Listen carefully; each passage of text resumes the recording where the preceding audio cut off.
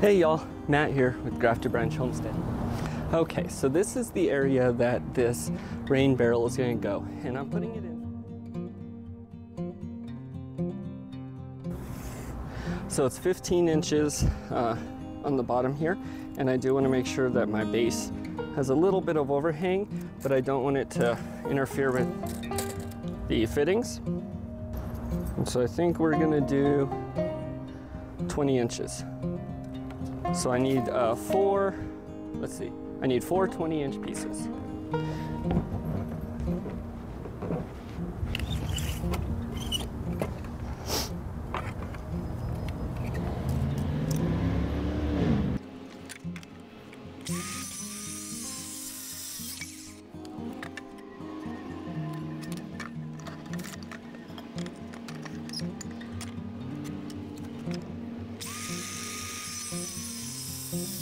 Done right, obviously, so it's not going to topple over. You're going to be putting a lot of weight on this. Um, so I believe water is about eight pounds per gallon, and this is a 55 gallon drum. Oops, sorry, the camera wasn't even in view there. Okay, so I went ahead and I cut two of the 20 inch pieces. I need to cut two more of these. Um, if you're off just a little bit, that's okay. You don't want to be off a whole lot, obviously, because you're going to be putting a lot of weight on it. I believe uh, water weighs eight pounds per gallon or so, and this is a 55 gallon tank. So you're looking at our drum. So I, uh, uh, quick math in my head is going to be over 400 pounds, I believe. Anyways, this does need to hold some weight. So we got two of them, and let's grab another board, and we'll get two more here.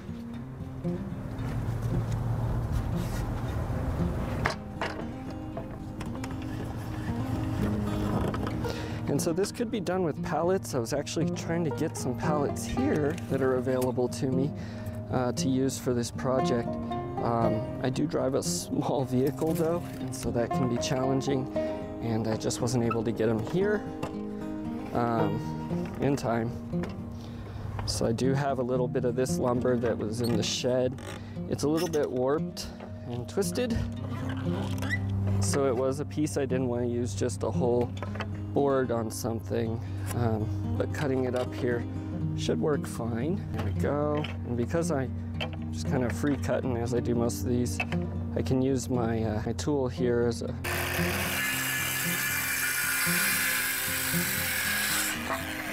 to help keep it straight. So I'm using this 2x4 then for the sides and the top I'll use 2x4. And then I'm gonna use the two by six for the legs as well as uh, I think I'm gonna brace the bottom of it as well. Just because it is heavy, I don't want it to bust on me. I saw you can buy these bases uh, for like a $100, which I think is absolutely ridiculous. Right now lumber has come down, so this 2x4, when I bought it, it was about four bucks, and so I'll do a couple of those. I could probably make the whole thing for under $20 is my guess. So normally I'd be using a table or something, but so I can film the video, we'll do it right here. And so I'll lay one piece down. As you can see, this I'll put on top. I'll take my other side here, and instead of putting it right there, we'll put it on the end. And then this board here, uh, since that one's on the end of the, the cross section here, I'm gonna take this and put that like that. And that is because of the size as well. And so when you do it like this, because they're all the same size cuts, um, they'll fit together nicely. You're not gonna get a weird shape. Okay, so if you can see that pattern, there we go. And I'm gonna go ahead and screw it all together. Okay, got my pattern. Uh, we're gonna, I'm gonna be using some outdoor deck screws. Uh, these are gonna allow it to hold more weight. Um, these are three inches long, uh, so that's gonna be good support. And we'll just start by picking a side.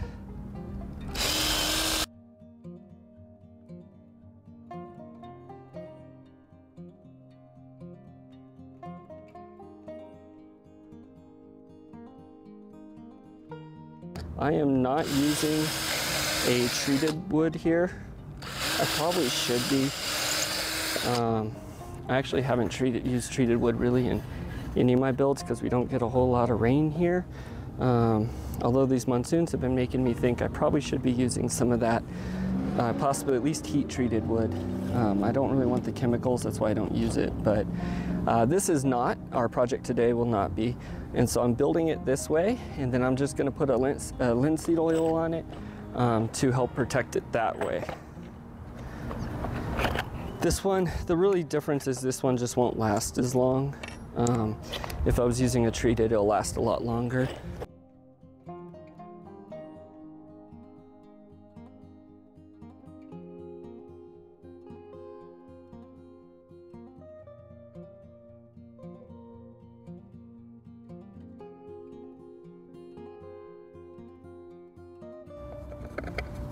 Go.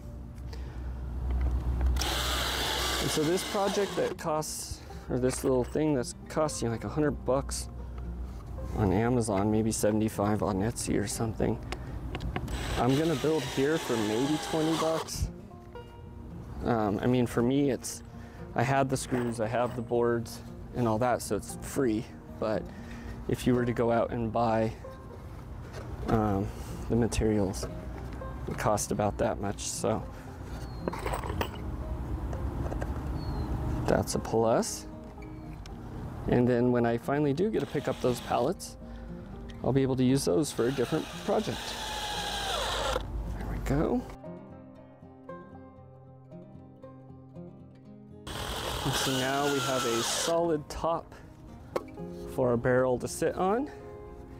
And so I'm gonna go ahead and put the legs on and then we will put the cross sections. So let me grab that barrel. That looks good, good size. All right. Okay, so we're gonna be putting that barrel over here. The barrel itself is 38 inches, um, plus the base of the boards that I'm gonna put on top of our structure is two inches. Um, and so I was looking at wanting to do the base about two foot high, but that's gonna put the top of my barrel way up on this pipe. So putting it at about a foot high would put the uh, top of it right here and then the, or the, the base that we just built right here and then the top two inches higher than that. We place our 38 inch barrel on top there. That's gonna put the top of the barrel right about here. And I think that's a, a pretty good height. And so we're gonna do those legs at one foot.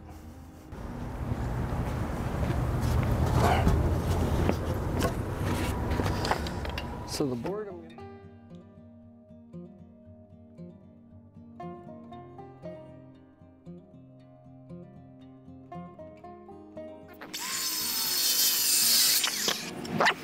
Got four legs. Okay, so we got our, our four four by sixes, or I'm sorry, two by sixes cut at 12 inches each. These are going to be attached on the inside of our frame. So we will attach all four of these in here just like that. And I am gonna attach them all on the same side. I don't know if that matters or not, but uh, they will be screwed through um, just about like that. I'm not gonna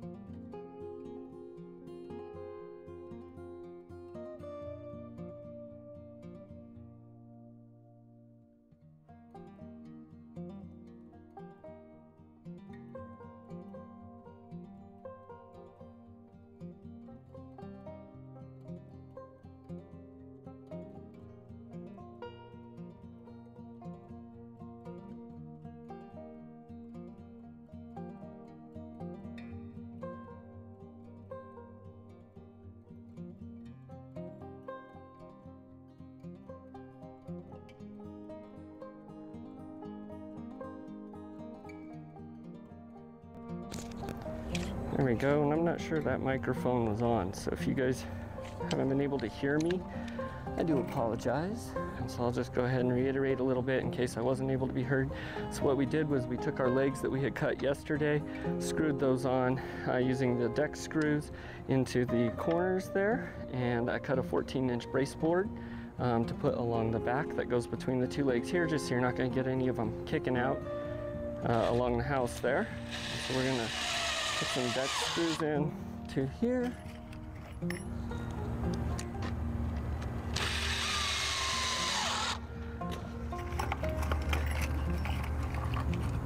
There we go.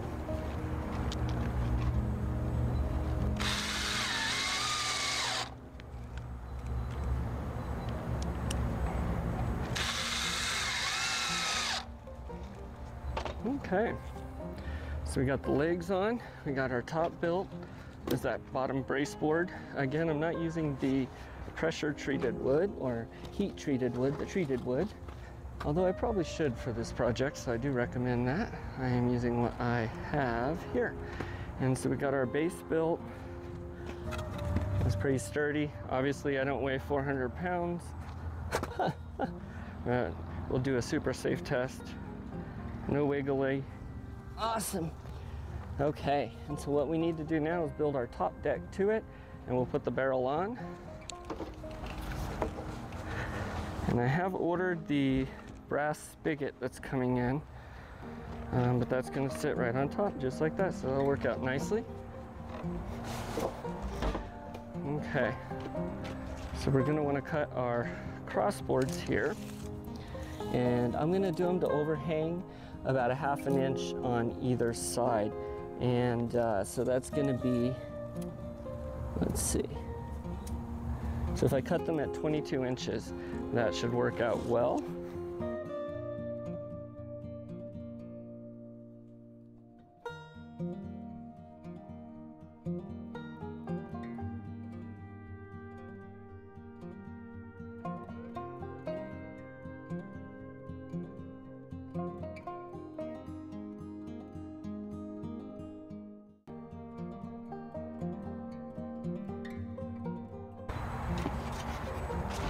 Okay, we're gonna improvise here a little bit. So I'm actually out of two by four.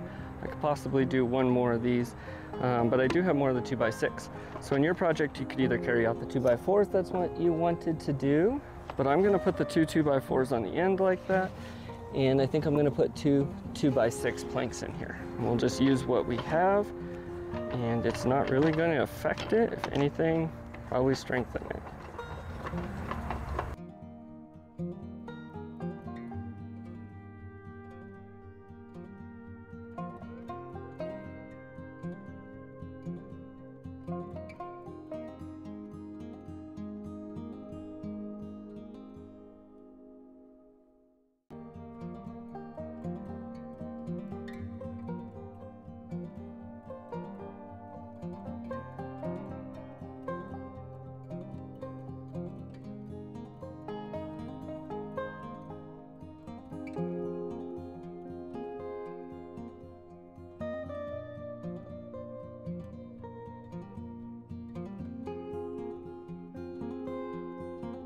I, am gonna leave the spacing. You don't have to do that, but I'm doing that in case water or things do need to seep through.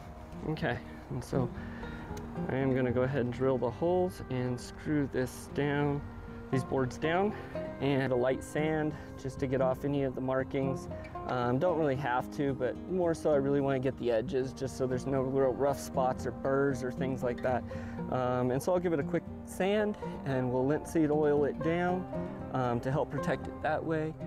Okay, great. I found my bit and this is a good time to throw in a plug about organization and the importance of it and how I need more of it.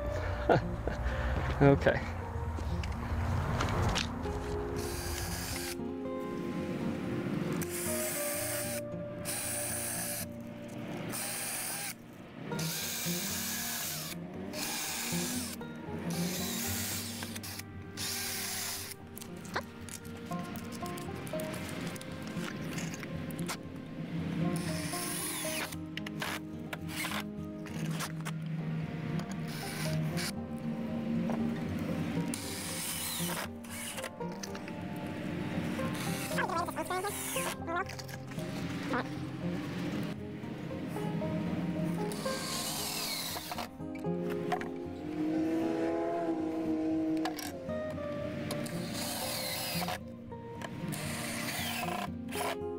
Our legs on. This thing's not the lightest, uh, but that's it right there. And so we'll give it a light sand and a linseed oil, and it will be ready to go in its spot. So we'll just check finish up. There.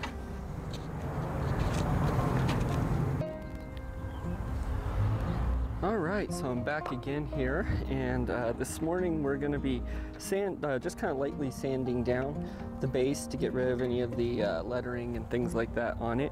Um, to power this, I'm out in my backyard though, and uh, don't really have the the house power out here. Um, so I am going to be using my Blue, Blue Yeti uh, EB3A, and excuse all the urban sounds there. But we are gonna see if this will power up my sander and how well that's gonna work. So first we are gonna turn it on. So we'll hold down for the AC. There we go. So we've got that on, I do believe. And we'll plug into it. We're at 100% charge. Let's see.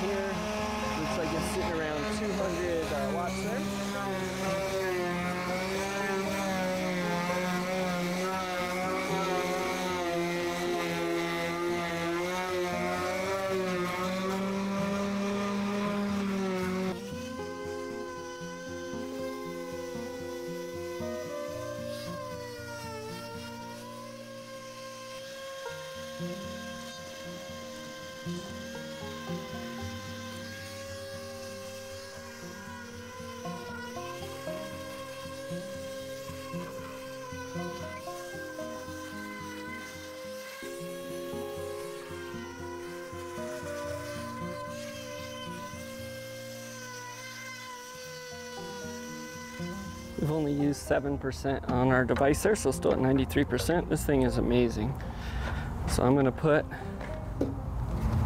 this back down here. All right, so we got light sand. We got off any, you know, real rough spots, any burrs or uh, words or lettering. And so the last thing we're gonna do is put some linseed oil on this and let it dry before we get it hooked up, finish up our rain barrel and install it all.